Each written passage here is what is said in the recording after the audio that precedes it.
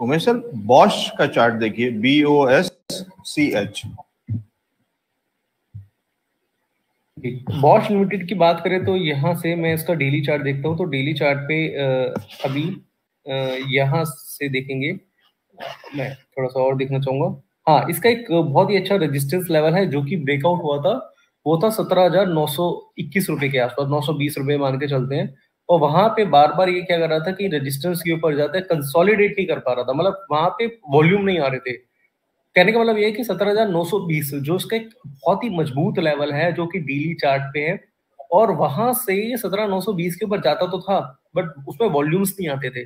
तो एक ये रेजिस्टेंस लेवल है सत्रह नौ सौ बीस का, सत्रह नौ सौ मान के चलिए, जब भी सत्रह नौ सौ ब्रेक करेगा अच्छे वॉल्यूम के साथ पॉजिटिव वॉल्यूम के साथ, दो तीन कैंडल दो तीन दिन वहाँ पे कंसोलिडेट करेगा, दो तीन दिन की क्लोजिंग करेगा सत्रह नौ सौ के ऊपर तो फिर इसमें एक बाइंग पोजिशन बना के चल सकते हैं। और अगर वहाँ से कंसोलिडेट वहाँ से इसमें अच्छे वॉल्यूम है, दो तीन दिन की क्लोजिंग दी इसने तो फिर मुझे लग रहा है कि स्टॉक में बहुत बड़ी तेज़ी देखने को मिल सकती है। बाकी जब तक ये सत्रह हज़ार नौ सौ ब्रेक नहीं करता तो तब तक मैं इसमें बाइंग की सलाह नहीं दूँगा। हाँ छोटा मोटा आप अवर्ली चार्ट देख के स्मॉलर टाइम फ्रेम के चार्ट देख के इंट्राडे ट्रेडिंग तो कर सकते हैं। बट जो एक बड़ी बाइंग होती है, उसकी सलाह मैं आपको सत्रह हज़ार नौ सौ के ऊपर ही देना चाहूँगा। जी।